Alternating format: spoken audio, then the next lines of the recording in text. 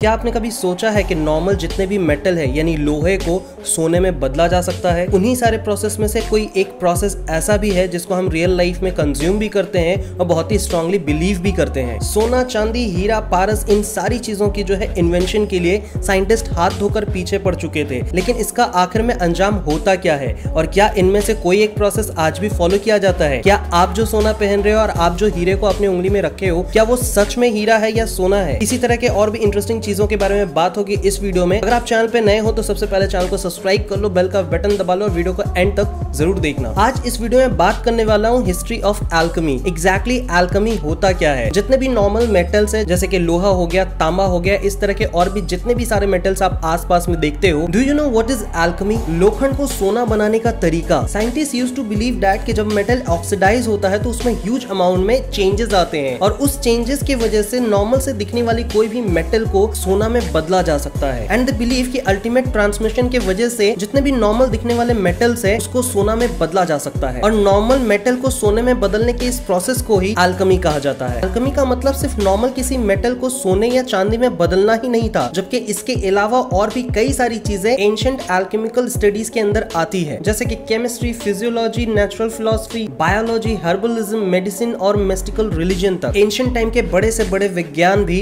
इस प्रोसेस को सच मान बैठे थे कि नॉर्मल किसी भी बेसिक मेटल से सोना बनाया जा सकता है। और तो और तो king of England, Henry the fourth तक ने देश के सभी विद्यवान को इस रिसर्च पे काम करने के लिए कह दिया था। यहाँ तक कि दूसरे देश के राजाओं तक ने इस चीज़ को सपोर्ट करना शुरू कर दिया ताकि उन पे चढ़े कर्ज को वो चुका सके। वही कुछ देश ऐसे भी थे जो की इस बात को लेकर परेशान थे की अगर ये एल्कमी का प्रोसेस सच साबित हो गई और लोहे से सोना बनाना अगर शुरू कर दिया गया तो इससे बहुत ज़्यादा नुकसान भी हो सकता है। सेकेंड सेंचुरी बीसी में चाइना ने इस प्रोसेस को इलीगल करार दे दिया था। और जो भी लोग एल्कमी प्रैक्टिस कर रहे थे या उसके बारे में सोच भी रहे थे, उनको फांसी तक देने की सजा सुनाई जा चुकी थी। रोमन एम्पर की तरफ़ से यह ऐलान कर दिया गया था कि एल्कमी के ऊपर में जितनी भी बुक लिखी जा रही है, उस प्रोसेस को जहाँ पे भी एक्सप्लेन किया जा रहा है, उन सारी बुक्स को जला दी जाए। एक और बात सुनकर के आपको झटका लग सकता है कि सेवनटीन सेंचुरी के दो बड़े साइंटिस्ट यानी सर आइजेक न्यूटन और रॉबर्ट बॉयले को एल्कमी से बहुत ज़्यादा सिंपथी थी। थर्टीन सेंचुरी के फिलोसफर थॉमस एक्वनिस इस सब्जेक्ट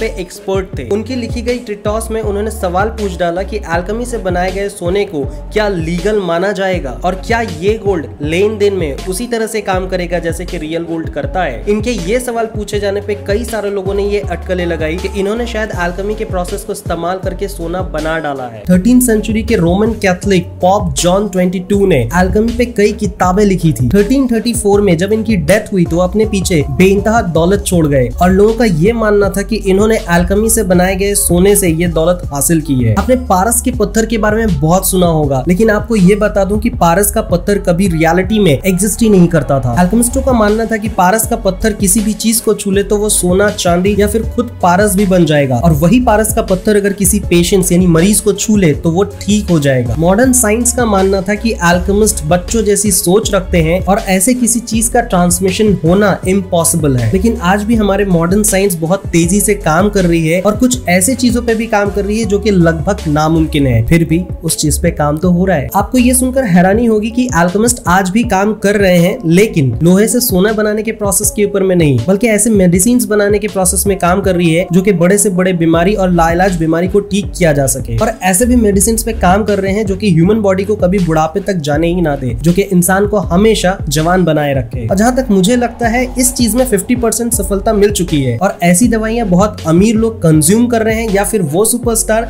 जिनको आप हमेशा देखते आ रहे हो, जिनको बचपन से देख रहे हो, वो आज भी बुढ़ापे के उस स्टेज पे नहीं दिखते जबकि उनकी उम्र उस स्टेज तक जा चुकी है। अब आप सोच रहे होंगे कि ऐसे सारे एक्सपेरिमेंट सिर्फ़ और सिर्फ़ वेस्टर्न कंट्री या फिर फॉरेन कंट्री में हो रहा होगा, हमारे देश में नहीं। लेकिन आपको ये जानना भी ज़रूरी है कि एल्कमी का इस्तेमाल करके हमारे प्राचीन भारत में भी कई सारी चीज़ों की खोज की जा रही थी। नागार्जुन थर्ड सेंचुरी के बुद्धिस्ट फिलोसफर थे और साथ ही साथ वो एक रसायन वैज्ञानिक भी थे, जो कि हमारे नालंदा यूनिवर्सिटी के आचार्य थे। उस वक्त बहुत सारे लोगों का ये मानना था कि नाग अर्जुन ब्लड सेल्स और ब्लड सर्कुलेशन के ऊपर में बहुत सारी जानकारी हासिल कर ली थी और जिसका इस्तेमाल करके लंबी उम्र यानी अनियमित समय तक कैसे जिया जाए, इस चीज़ पे काम भी कर रहे थे। सेवन सेंचुरी की चाइनीज़ ट्रैवलर हुइन सांग का कहना था कि नागा अर्जुन की पकड़ एल्कमी पे बहुत ज़बरदस्त थी। बहुत सारे एल्कमिस्ट जिन चीज़ों पे सिर्फ़ सोच पा रहे थे नाग अर्जुन उन सारी चीज़ों को सच कर दिखाए थे। और प्राचीन भारत की ये सारे सीक्रेट पॉलिटिक्स गुरु और शिष्य की परंपरा पे टिकी हुई थी। लेकिन टर्किस ने जब इंडिया पे अटैक किया तो नालंदा यूनिवर्सिटी को जला दिया, जिसमें नालंदा की सारी लाइब्रेरी भी जल गई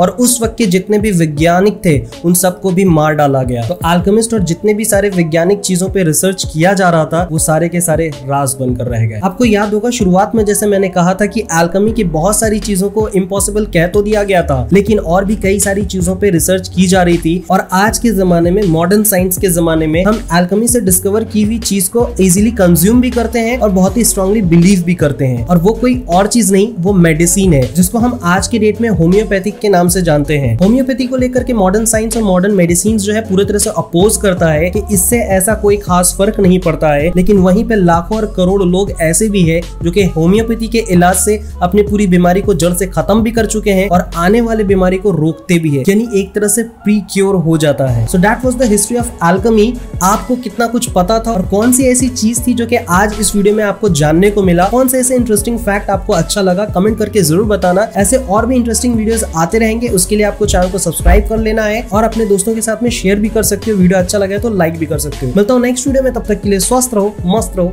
ज़बरदस्त रहो।